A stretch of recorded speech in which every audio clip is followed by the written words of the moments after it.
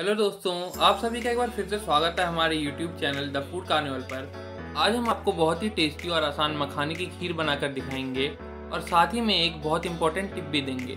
तो आप इस वीडियो को पूरा ज़रूर देखें, इस वीडियो को भी प्लीज़ लाइक करें और हमारे चैनल को भी ज़रूर सब्सक्राइब करें। तो चलिए बनाना शुरू करते हैं। इसके लिए हम पैन में एक चम्मच घी डालेंगे और उसे गर्म होने देंगे।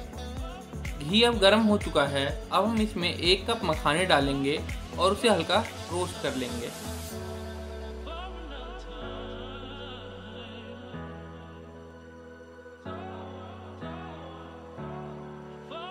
मखानों को हमने हल्का रोस्ट कर लिया है। अब हम इसे निकाल लेंगे। हमने मखाने निकाल लिए हैं। अब हम इसमें एक चम्मच और घी डालेंगे और उसे हल्का गर्म होने देंगे। अब हम इसमें थोड़े कटे हुए ड्राई फ्रूट डालेंगे और इसे भी हल्का रोस्ट कर लेंगे। मैंने यहाँ पर थोड़े कटे हुए बादाम, काजू और किशमिश का इस्तेमाल किया है।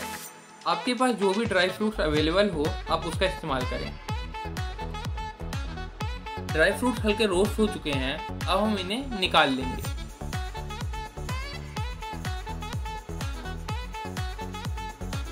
अब इसी पैन में हम 700 सौ दूध डालेंगे और इसमें एक उबाल आने देंगे।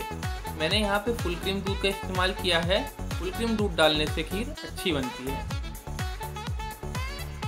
अब इसमें एक उबाल आ चुका है। अब हम इसमें रोस्ट किए हुए मखाने डाल देंगे और दूध को थोड़ा गाढ़ा होने तक पकाएँगे। अब दूध हल्का गाढ़ा हो चुका है और मखानों ने भी दूध को अच्छे से एब्जॉर्ब कर लिया है। अब हम इसमें रोस्ट किए हुए ड्राई फ्रूट्स डालेंगे और इसी के साथ इसमें आधा चम्मच इलायची पाउडर डालेंगे और थोड़े से केसर के धागे डालेंगे और इसे थोड़ी देर चलाएँगे। केसर के धागे बिल्कुल ऑप्शनल हैं। आप इसकी जगह फ़ूड कलर का भी इस्तेमाल कर सकते हैं। अब यह हल्का पीला दिखने लगा है। अब हम इसमें आधा कप चीनी डालेंगे। आप चीनी की मात्रा अपने स्वाद अनुसार कम ज़्यादा कर सकते हैं। अब हम इसे तब तक चलाएँगे जब तक दूध थोड़ा और गाढ़ा ना हो जाए। मैं यहाँ आपको एक टिप देना चाहूँगा। अगर आप इसे इंस्टेंटली गाढ़ा करना चाहते हैं तो आप इसमें एक चम्मच कॉर्नफ्लावर या उसकी जगह एक चम्मच कस्टर्ड पाउडर थोड़े से दूध में मिलाकर इसमें डाल सकते हैं। इन्हें डालने से दूध बहुत जल्दी गाढ़ा हो जाएगा और आपके मखाने की खीर बहुत ही जल्दी बनकर रेडी हो जाएगी। अब इस दूध को हमने 10 मिनट तक चला लिया है। अब इसकी कंसिस्टेंसी कुछ ऐसी हो चुकी है। अब हमारे मखाने की खीर बनकर रेडी है। अगर आपको हमारी रेसिपी पसंद आई हो तो आप इसे एक बार ज़रूर ट्राई करें।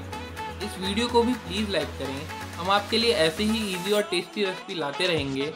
तो आप हमारे चैनल को भी ज़रूर सब्सक्राइब करें। अब आप हमें इंस्टाग्राम और फेसबुक पर भी फॉलो कर सकते हैं। लिंक डिस्क्रिप्शन बॉक्स में है। हमें सपोर्ट करने के लिए थैंक यू